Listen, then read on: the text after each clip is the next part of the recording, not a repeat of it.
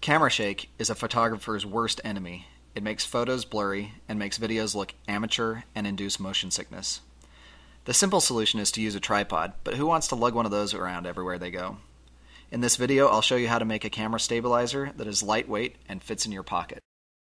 For this project, you'll need a bolt, 1 quarter inch diameter with coarse threads, some string that won't stretch, and some kind of small weight like this washer. The first step is to tie one end of the string onto the bolt, and since I'm an Eagle Scout, I used a lashing so it would look nice. You can do the same or just tie your best granny knot.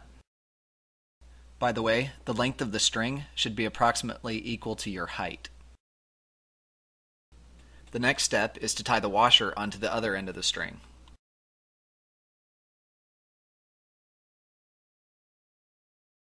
I finished by clipping the loose ends and sealing the knots with a match. The stabilizer obviously installs the same way as a tripod.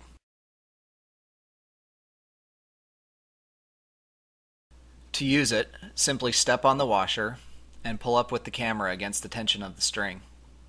Unlike using a tripod, this stabilizer makes it easy to quickly pan and frame action shots. When you're done with the stabilizer, it folds up and fits easily in your pocket.